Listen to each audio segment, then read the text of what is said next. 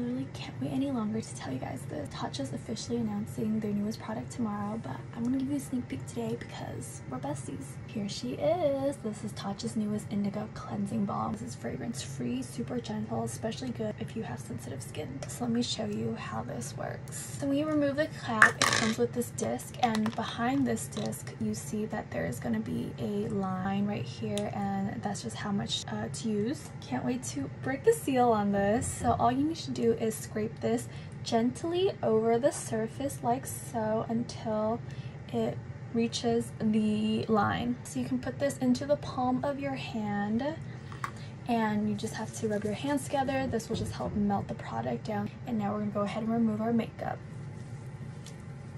As you can see, it literally just melts everything off, even waterproof makeup and super, super gentle on your skin. Okay, let's go ahead and rinse this off.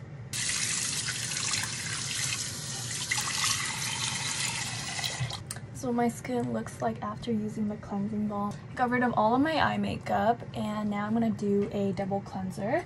And I'm going to go in with the rice polish here. All you do is pop the cap. This is a powder. And you just oh, put a little bit on your hand and then mix it with a little bit of water.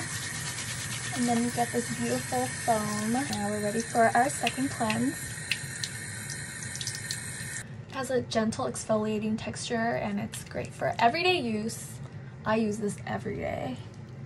Let's wash it off.